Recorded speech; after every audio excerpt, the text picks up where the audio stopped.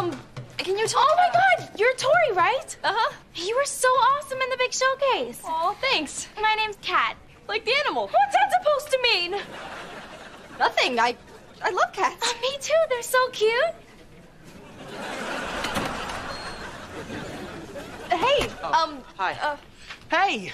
Hello, female. Yes? can you tell me where Mr. Sikowitz's classroom is? Down the hall, Swing left at the water fountain, second door on your right. Thank you.